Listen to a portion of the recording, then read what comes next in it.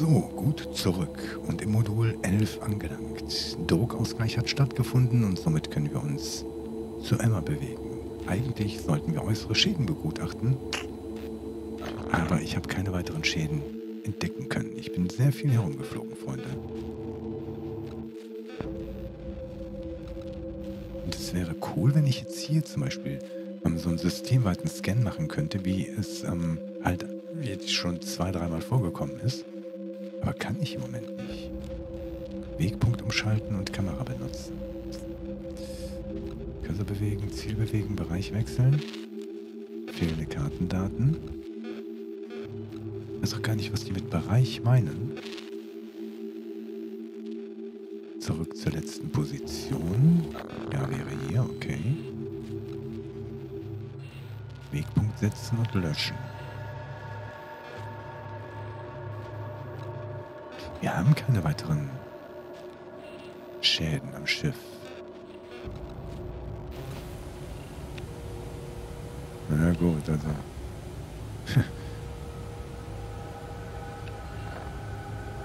Vergrößern zum Antworten. Keine Übereinstimmung, okay. Aber das sind halt die Schäden, die die meint. Nur, wir haben keine... Hi, Emma. Wir haben keine weiteren Schäden festgestellt. Das wundert mich halt gerade so.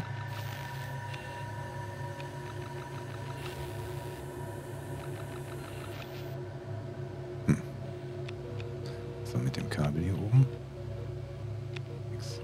Die ganzen Flaggen, oh wie cool.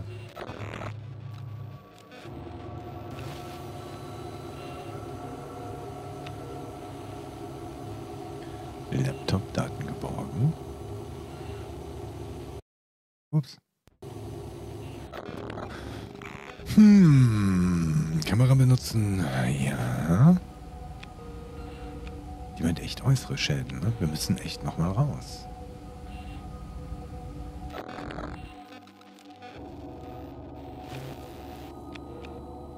da ist unsere Sphäre. Ach, wie geil.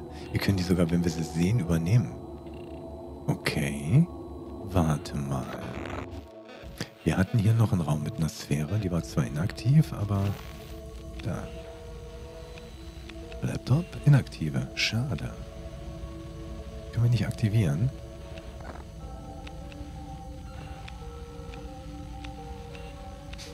Aber hier drin habe ich wenigstens Anzeigen. Auch gut, auch wenn sie halt negativ sind.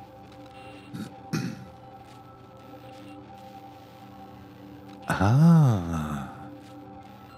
Also morgen ist aber erst Vertragsunterzeichnung. Ne? Ich habe jetzt gerade extra nochmal auf den Kalender geguckt, Lukas. Ne? Also ist schon klar, dass du noch jetzt einmal schlafen musst, ne? bevor du dich freuen darfst. Und so richtig freuen darfst du dich sowieso erst nach der Probezeit. Ne? Luke. Luke schließen. Ja, Kinder, ich glaube, ich habe Mist gebaut. Wir müssen echt nochmal raus. Ne?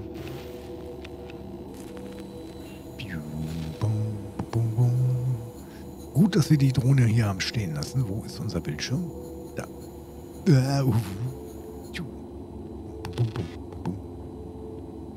Ach, heiliges Blechle. Du hast mich gestern ja angeflunkert. Nein, Scherz. 22. Weil ich hatte jetzt echt äh, Donnerstag im Kopf. Hm. Oh, cool, ey. Ja, darauf stoßen wir jetzt an. Zack, hier, in der, in der Dekompression stoßen wir darauf an. Das ist auch cool gemacht. Wenn die Luft entweicht, geht auch der Sound. Das ist so cool gemacht. Cool, cool, cool, Lukas. Das freut mich. Glückwunsch. Naja, Glückwunsch ersten, ne? Nach Probezeit, Freunde. Soll nicht immer so früh hier irgendwie ein Fass aufmachen. Die eine Luke auf, die andere Luke. Was? Ups, jetzt stürzt sich hier wieder überall an, sonst komme ich durch die engsten Räume. Ah, warte mal. Ist null Luft und die innere Luke ist offen. Ist nicht gut.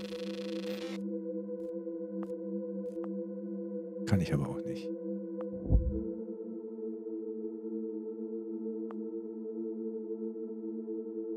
Wartungsschleuse nicht versiegelt. So. Alter Falter. So. Warte mal, warte mal. Interne Luke auf. Dann wäre ja jetzt die interne Luke eigentlich zu, ne? Das ist die externe, das sieht man am Schmutz. Ach, der meint die da hinten. Ich dachte hier die Verbindungsluke dazwischen.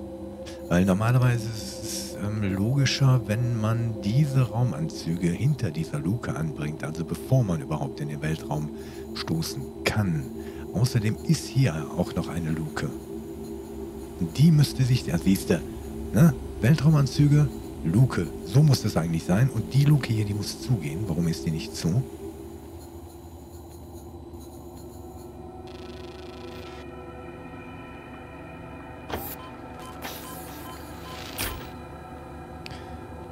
Alles klar.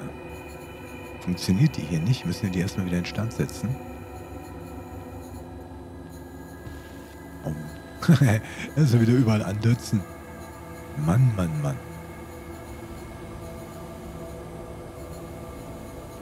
Ich sehe nichts zum Kontrollieren. Nix. Sphärenskript. Ja, haben wir doch schon lange, genau. Okay, da muss es halt da draußen die Tür sein. Okay, okay, okay. Ich hatte jetzt einfach nur ein bisschen Angst um die gute Emma. Hatte keine Lust, der hier jetzt die Luft aus der Station rauszupusten. Das war schon ein bisschen doof, ne?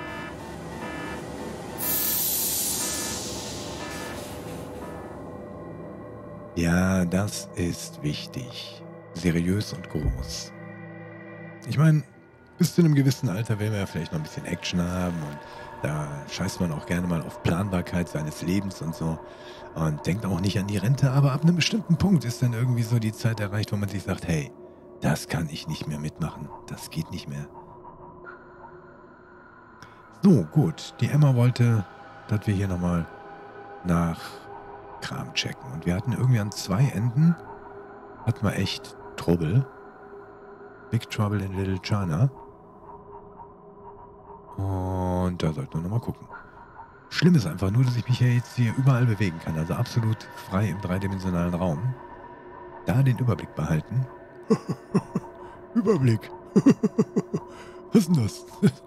so, nehmen wir erstmal die drei. So, hier waren wir sowieso tausendmal. Wir waren auch schon im Modul, im abgetrennten. Haben gesehen, dass da keiner mehr drin ist. Weißt du, wir haben sogar diese super Information, ja, dass der Jack oder wie auch immer er hieß, dass er es geschafft hat, dass er sich hier eigentlich irgendwo befinden müsste. Der hat sich ja rausklamistert. Natürlich, wenn wir Pech haben, dann hing der draußen fest, als die Station losgeobt ist. Und äh, ja, dann ist mit dem jetzt, äh, wie soll ich sagen, Chunky Salsa oder so.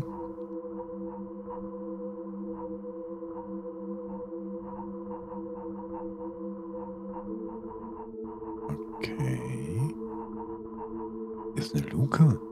Hätten wir hier vielleicht reingesollt? Oder bin ich da rausgekommen? Ich hab doch keine Ahnung mehr, ey.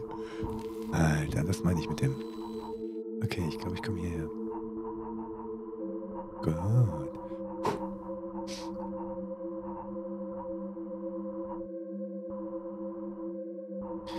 Ja, Lukas, das ist echt wichtig. Das, äh, das meinte ich mit der Planbarkeit, ne? Das ist wichtig, dass man weiß, wenn man frei hat, wann man arbeiten muss und nicht. Rufen Sie bitte bis 11 Uhr an und dann sagen wir Ihnen, ob, wir, ob Sie heute noch arbeiten. Oder wenn Sie bis 11 Uhr nichts von uns gehört haben, dann haben Sie heute frei. So, hallo, was ist denn das, bitteschön? Ähm, ich möchte klar wissen, wann ich zum Zahnarzt gehen kann. Ja, sonst muss ich das in der Arbeitszeit tun. Was dann bei diesen Firmen auch nicht gerade cool ist, weil das bekommt man alles nicht bezahlt, weil geht ja alles nicht. Muss man nicht während der Arbeitszeit machen und, und, und, und. und. Aber da sind wir nicht. Wir sind hier tatsächlich in der Nähe vom Saturn. Und ich raff immer noch nicht, welche Schäden. Einzige, wo was rot blinkt, ist genau da, wo wir aus der Luke gekommen sind. Die Solarpanel werden nicht angezeigt. Wir haben die Greifarme, da waren wir gerade eben. Jo, denke ich mir, dass du das gut kennst von deiner alten Firma. Ich denke, jeder, der irgendwie mit diesen Sklavenfirmen da zu tun hatte, der kennt das sehr gut. Das ist ja das Problem, über das die Leute so ungern reden möchten. Dass es einfach nicht angeht, dass Arbeitnehmer ihre Zeit nicht planen können. Dass sie nicht wissen, wann sie frei haben. Hallo? Wenn ich Feuerwehrmann bin oder Netzwerkadministrator und habe Abruf, dann ist das was anderes. Ja? Aber dann geht das auch um was. Nur, hey, dein Kollege ist krank. Kannst du jetzt mal einspringen, hier das Büro putzen? Für was? 6,30 Euro oder was? Freunde. Aber ich bin eine KI und ich fühle mich gut. Auch wenn ich überhaupt nicht raffe, was ich hier tue. Ne? Es ist super cool. Wir haben den Saturn hinter uns. Warte mal. Wenn der Sonnenschein von da kommt. Warum sehe ich die Sonne nicht? Sonne, Schatten.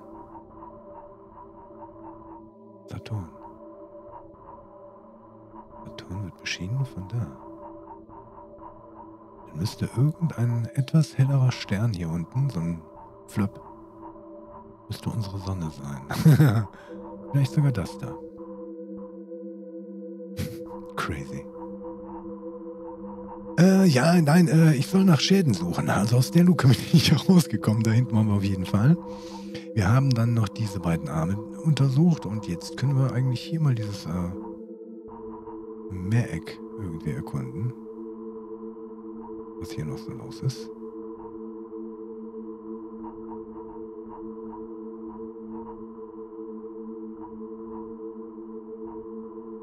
Hier war das mit den Andock-Klammern, die Modulverbindungen.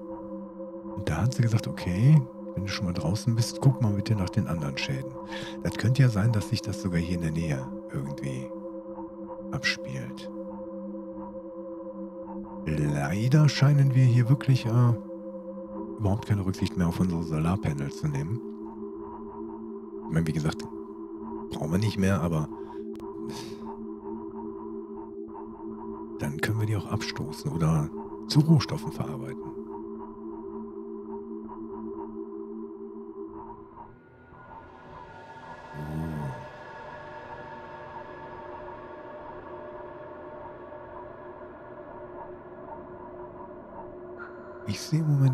Schäden, keine weiteren Schäden. Gucken gleich nochmal in diesem großen Modul hier, was das überhaupt ist. Guck mal, das ist auch ROS2 und wir haben bisher nur EAS. Das heißt, eigentlich sind das hier noch unbekannte Gebiete für uns. Unbekannte Module. Na, aber da waren wir eben auch schon mal. Egal. Ich gucke mir hier auch gerne nochmal alles dreimal an. Das ist wirklich im Moment recht wurscht.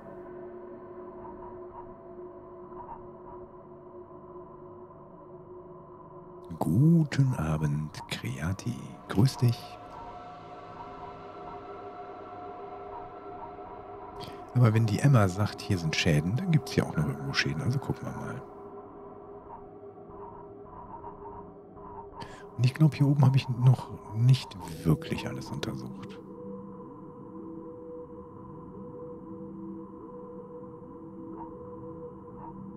Auch nirgendwo ein Highlightning, ne? kein Radar, das sich zusammenzieht oder so.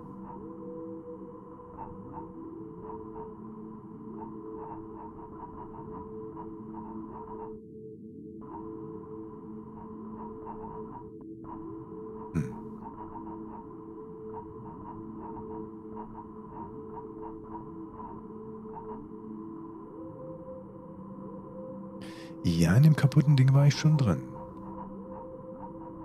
Da habe ich ähm, das Log aus dem Laptop geborgen, dass der Typ äh, in den Raumanzug irgendwie hier raus ist und äh, jo, das, dass wir ja dann das Modul abgetrennt haben.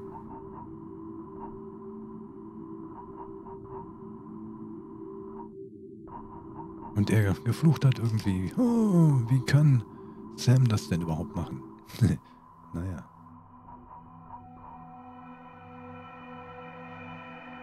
So, aber ich fliege da gerne nochmal hin. Weil das ist ja auch in der Nähe der Luke. Das wäre ein logisches, logisches Ziel. Vielleicht habe ich irgendwas nicht ausgelöst im Trigger. Lass mal eben gucken. Man kann ja mal im Speicherkern. Ne, ich habe alle... Ja, doch, da ist er.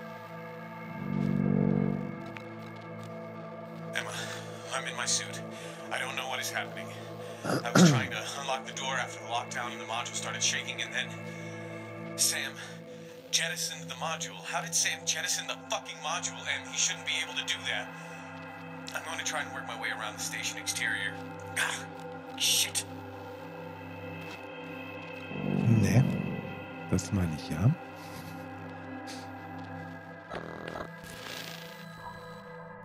Aber kann ja gut sein, dass ich da irgendwas nicht äh, ne, getriggert habe. Das kam mir nämlich auch sehr, sehr seltsam vor. So von wegen, jetzt haben wir eine echt wichtige Information für die Emma und können der die gar nicht mitteilen. Das hat mich schon sehr gewundert.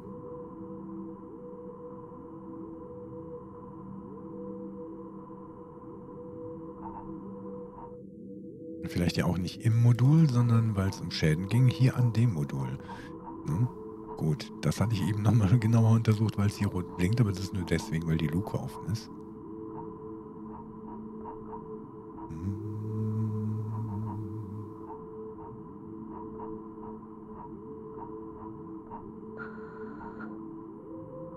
So. Und im Endeffekt sind die Schäden an EAS 12 ähm, irrelevant. Das ist abgetrennt. Befindet sich hoffentlich in einer von uns abgewandten in einem von uns abgewandten Vektor, also bewegt sich von uns weg. Sonst bekommen wir sehr bald ein paar Probleme. Okay, hier war ein Highlight nicht schon wieder. Aha, da fehlt noch was. Da hat natürlich kein Strom, ne? Das ist einfach schon. Ne? Gleich kommt die Idee um die Ecke. Ah, glaube ich nicht. Meinst du? Er sagt dann, E.T. Home. E.T. Hause telefonieren. Oder so. Nein, macht er nicht. Der kommt nicht vorbei. Der hält uns nicht wieder sein überkochtes Bratwürstchenfingerchen entgegen und guckt mitleiderweckend mit seinen großen Glubschaugen. So, lass mich mal. Zup, zup. Ganz kurz den Raum irgendwie in meine Birne kriegen.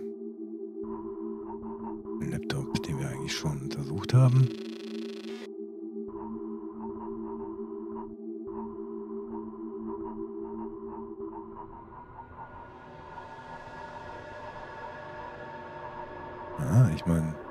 Komischen Schäden, die gucke ich mir gleich auch nochmal an, aber darauf wird ja auch gar nicht reagiert, diese Korrosion im Metall, weißt du? Oh.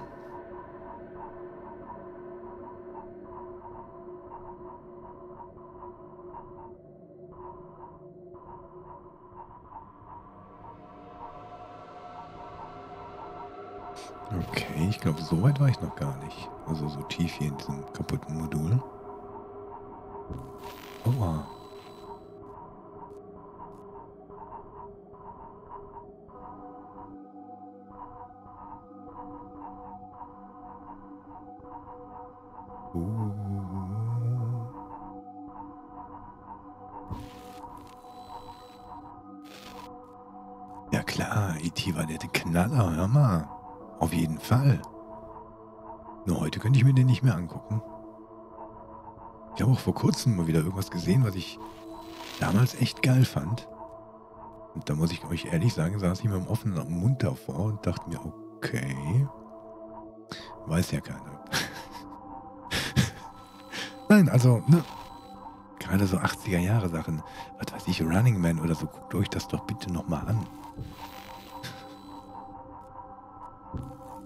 Nee, ich glaube nicht, dass es hier noch was gibt. Bum, bum, bum, bum, bum, bum, bum,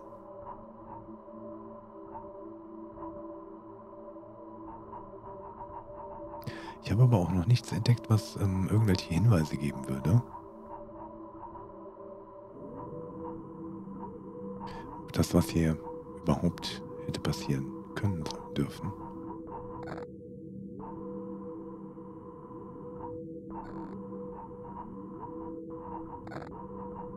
Beep, beep, beep, beep, beep, beep, beep.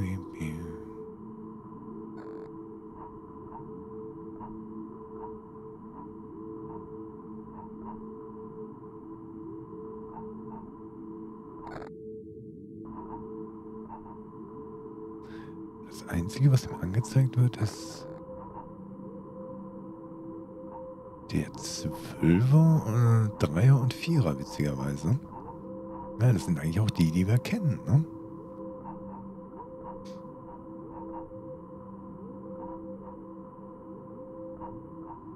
Ich glaube, ich habe einen Gedankenfehler. Ich denke, ich hätte bei den Modulen, die mir angezeigt werden, na, das ROS wurde mir auch angezeigt. Hm. Da hätte ich mal auf Antworten drücken sollen. Und dann mal gucken, ob es da eine Möglichkeit gegeben hätte, mit der Guten in Kontakt zu treten. Hier war eins, EAS 4. Außer Reichweite. Da. Damage to EAS 4 exterior is superficial. Okay, looks like we got that fire before it got out of hand. Siehst du, mein Gedankenfehler, aber dafür haben wir die gesamte Station jetzt einmal außen erkundet. Das ist doch was Feines. Du Idiot. Nö, ach, finde ich jetzt gar nicht schlimm. Hm. Und ich muss ganz ehrlich sagen, ich habe eben überlegt, hm, ob das wirklich jetzt ein Bug ist und das Game einfach nicht weitergeht. Nee, dachte ich mir, uh -uh, das glaube ich jetzt nicht. Dafür ist das eine zu simple Mechanik. Aber ich habe auch kurz gedacht, ob da irgendwas nicht stimmt. Muss ich ehrlich zugeben. Nur, ich kenne mich doch.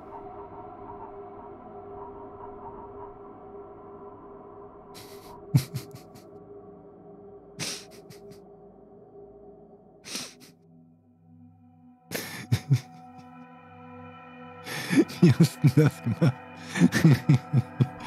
ah, ich lach mich tot. Nee, cool, machen wir mal weiter. Ja, leider, ähm, du bist äh, später erst gekommen, Kreati. Die ähm, Solarzellen lassen wir einfach vorne außen vor. ja, also Fakt ist halt, die nutzen hier nichts mehr und wir haben unseren kleinen Fusionsreaktor mittlerweile schon in Betrieb genommen. Und äh, ich bin eben auch am Meckern gewesen. Hier sind kaputte Solarzellen, aber das wird nicht als kaputt angezeigt. also von daher, alles gut. Haben wir schon überprüft. nee, ich glaube, ähm, es gab das EA4, das ROS2 und das Dreiermodul müsste eigentlich auch ähm, angezeigt worden sein. Ich wüsste im Moment nicht, wo das Dreiermodul ist. Das war das mit den Klammern.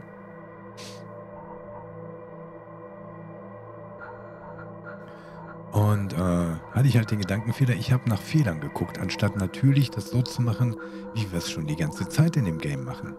Mir wird was angezeigt, wenn ich irgendwas untersuchen soll, dann gebe ich Antwort. Und na. Nur, das ist jetzt das erste Mal, dass wir das wirklich mit der Drohne machen. Eben konnten wir das alles noch in so einem Übersicht, ne? so wie hier. Ne? In so einer komischen Übersicht konnten wir die Dinge anwählen, dann wurde das gescannt. Luftdruck, Elektrizität, Höhlenintegrität und so. Oh, okay, das hat jetzt etwas gedauert, aber das macht ja nichts. So, wir haben hier nur drei Säulen. Das hier ist wieder die Säule, aus der wir ausgestiegen sind. Und hier müsste sich eigentlich EA3 befinden. Das ist 5. Hier ist die 2. 4 da drüben. 3 ist hier. Da ist das Luftdinganschluss. Äh, diese Klammern. Nee, alles klar, wird mir nicht an. Doch, da. Ne? Da ist keine Reaktion, okay. So, und dann gab es hier noch ein RUS.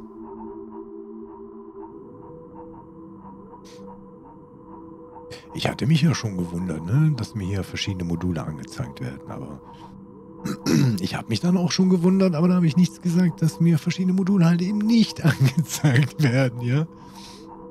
Aber ich habe halt jetzt ein bisschen länger gebraucht für die Schlussfolgerung. Alte Männer halt eben. Alte Männer, die auf Raumstation starren. In Analogie zum Saturn. Krass. Alter Falter. Was haben wir hier eigentlich hier oben? Also.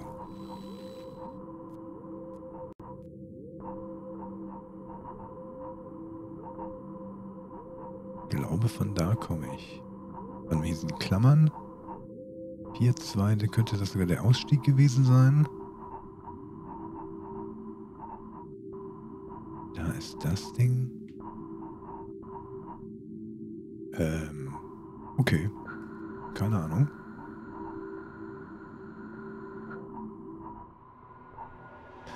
Ist unser Ausgang gewesen, alles klar. Äh, alles klar.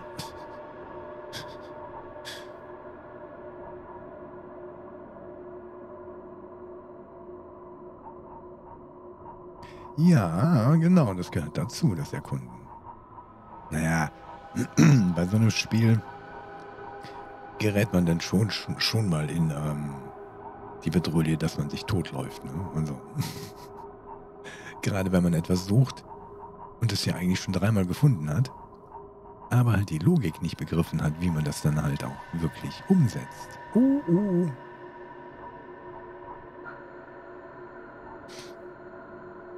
Ja, so. Okay. Ich glaube, das hier war dieses ROS. Ähm, da kommen wir her. Jo. Vierer, Dreier, bla bla. Da waren wir gerade eben.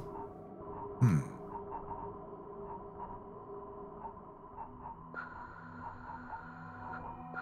Nee, leider nicht.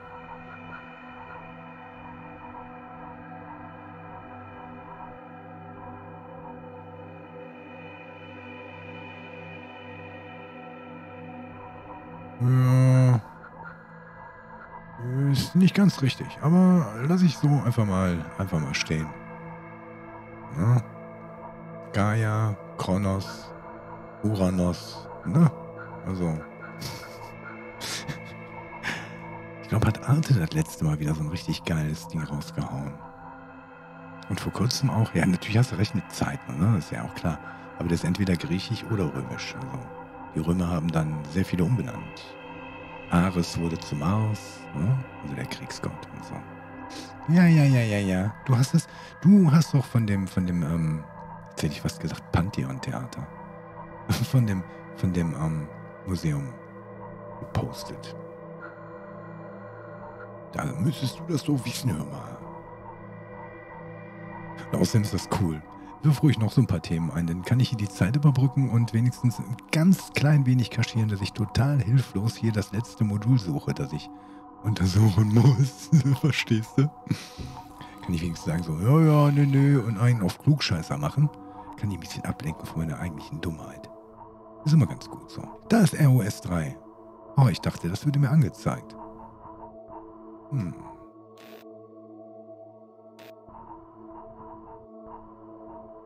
Äußere Schäden und die mögliche Ursache suchen. Entschuldigung. Ich weiß nicht alles. Das ist gut. Wenn man sowas weiß, ne? das ist das Beste. Mehr braucht man eigentlich nicht wissen.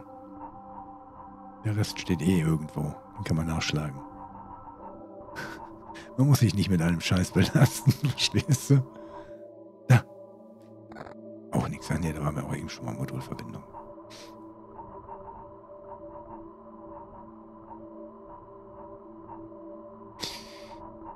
Meine Logik wäre gewesen, aber das haben wir, glaube ich, auch schon ausprobiert. Ähm, nur die Module absuchen, die wir auch wirklich kennen, weißt du? Das ist das eben.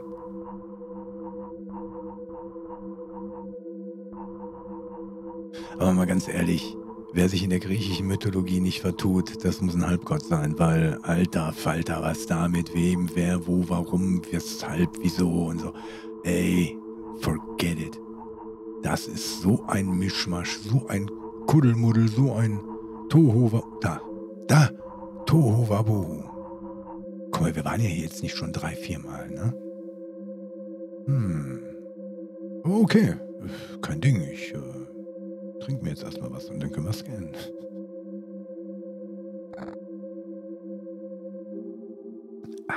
An unknown material is present at hull Ha. fracture points. Looks like what I found in EAS 4. Ja. What the hell is it? Nein, nein, nein, nein, nein, nein, nein, nein, nein, nein, nein, nein, Bring the nein. sphere back inside and meet me in EAS 3. Ah, ja, ich miet mich Let's auch. get this hatch open. Alter, I hope to Alter. God the others are okay. Oh. Weltraumspaziergang, da, da, da, da, da, da. Zu Emma zurückkehren. Oh ja, ich komme zurück. Emma, warte. Warte, Emma. Emma. Äh, warte mal. So, jetzt muss ich hier nach diesen komischen Dingern suchen. Da ist hier Lukendings. Bist du das Lukendings?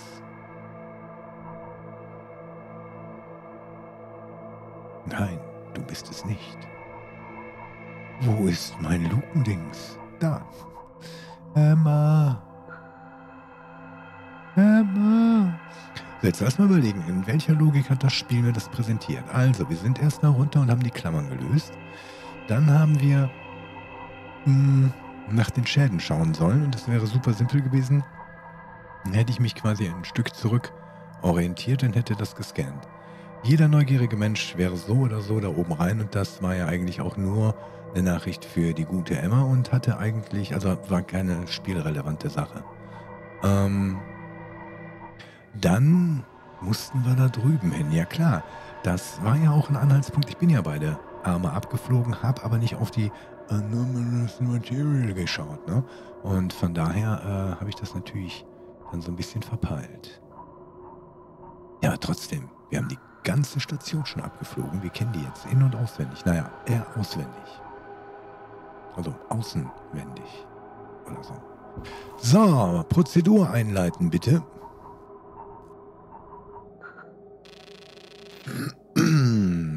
Zumachen. Das ist so geil, wie die da im Hintergrund auch zugeht. Luft reinlassen. Interne Luke öffnen, bitte.